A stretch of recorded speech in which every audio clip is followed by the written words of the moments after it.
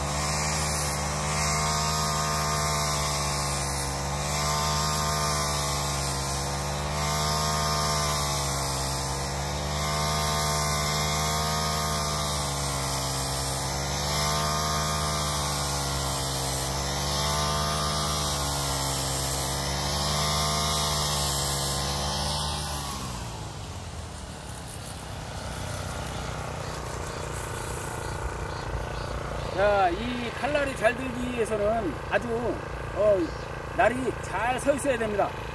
잘못 갈면 어, 풀이 안 잘라집니다. 그 뒤로 처박히면서 수도 있습니다.